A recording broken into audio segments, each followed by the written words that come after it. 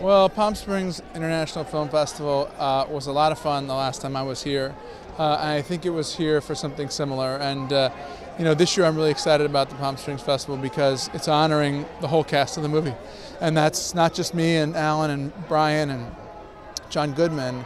It's you know the more than 120 people with speaking parts. This is the biggest uh, movie in terms of actors with speaking roles that I've ever been involved with.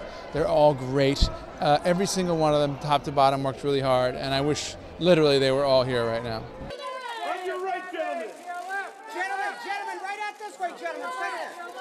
You know, the fact that the Palm Springs International Film Festival uh, uh, included me in a part of their celebration is wonderful. Uh, it's surreal to be even, um, you know, in the in the, the world of these other actors, and uh, so uh, you know, for me, it's a dream, and I love the movie so much that, that I was able to be a part of.